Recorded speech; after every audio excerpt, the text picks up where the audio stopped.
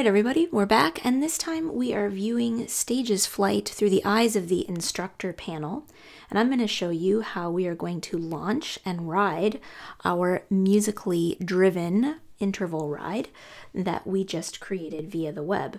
So the first thing I'm going to do is go to Add Profile, just like I would any class.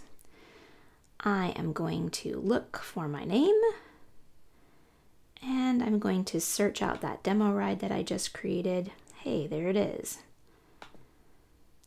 And for our purposes today, we're not going to layer in any video uh, or anything else. I'm simply going to show you some demo gauges.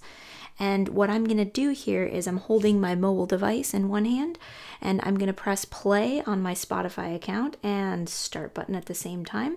And then I'm quickly going to hit show external screen so that you can see what the group is seeing on the large group display at the front of the class. So here we go. In three, two, one, begin. You can see the countdown timer ticking away. And the ride begins.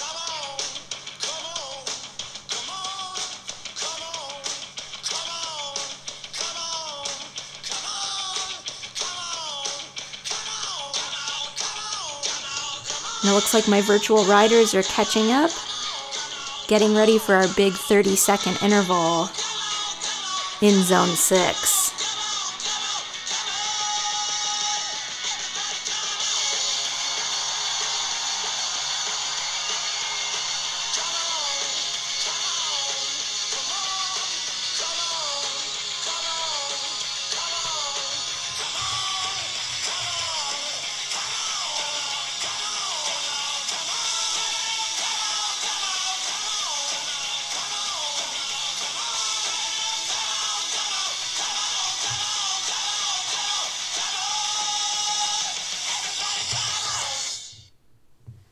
And just like that, you can see how easy it is to make a musically minded profile.